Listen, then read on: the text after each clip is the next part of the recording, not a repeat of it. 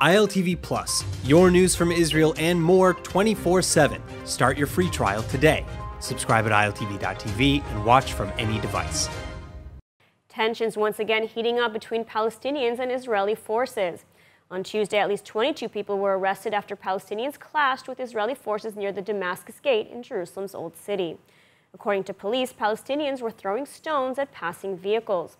Security forces had to use riot control measures to restore calm, and buses had to alter their routes to avoid the disturbances in the capital.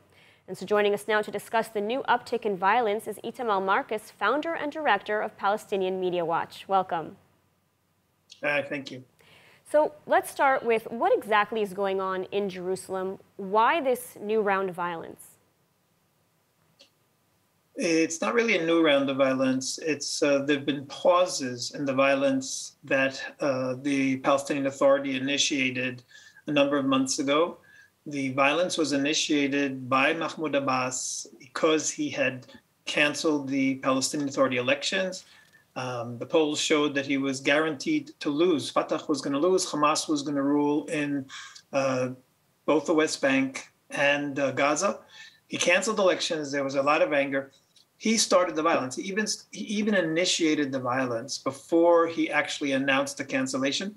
Um, polls have shown that he is the lowest he has ever been in popularity. Um, after the war, after the Hamas war with Israel, um, close to 80% of the Palestinian population wanted him to resign. Uh, there was a lot of uh, criticism of him.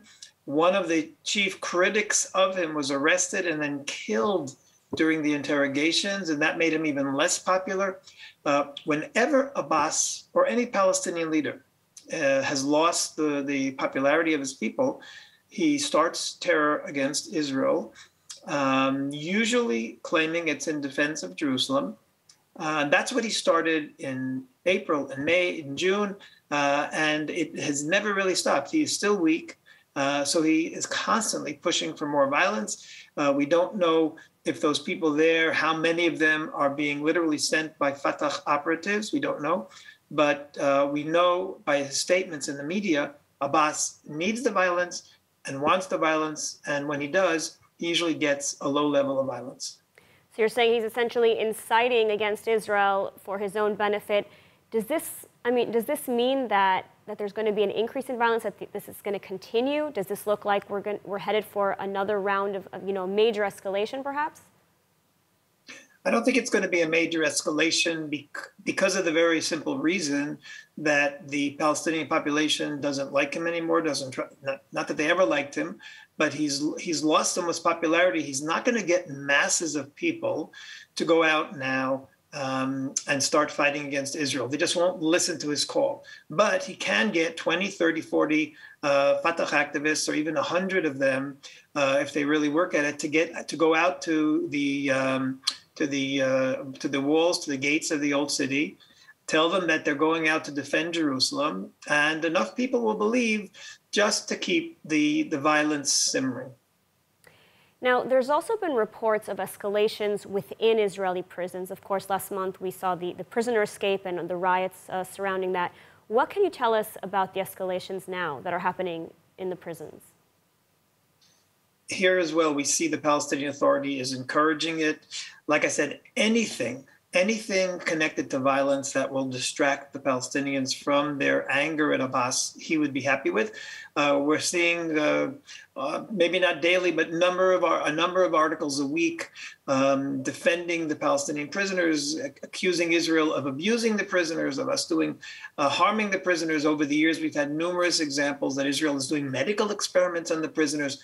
Um, in fact, in the last few days, the Palestinian Authority has started uh, showing uh, on TV these little fillers of about 30 seconds long, which are compare. They're they're actually cartoons which compare Israeli soldiers to the coronavirus. And basically, what they're saying is we have two enemies that are attacking our prisoners. One of them is the coronavirus, and one of them is the Israeli soldier. Again, it's terrible demonization. Uh, describing Israeli soldiers as deadly, describing the prison authorities as, as a deadly threat to Palestinians. Uh, and this is done again to increase anger so that he can get uh, people fighting outside the prisons. And by the way, Palestinian prisoners are watching Palestinian TV. And if they see encouragement from the outside, it also encourages them inside to, to protest and be violent, uh, especially prisoners who are serving life sentences. They have nothing to lose by being violent. So, all incitement coming from the Palestinian leadership. Itamar Marcus, thank you so much for speaking with us today. Thank you very much. Have a good day.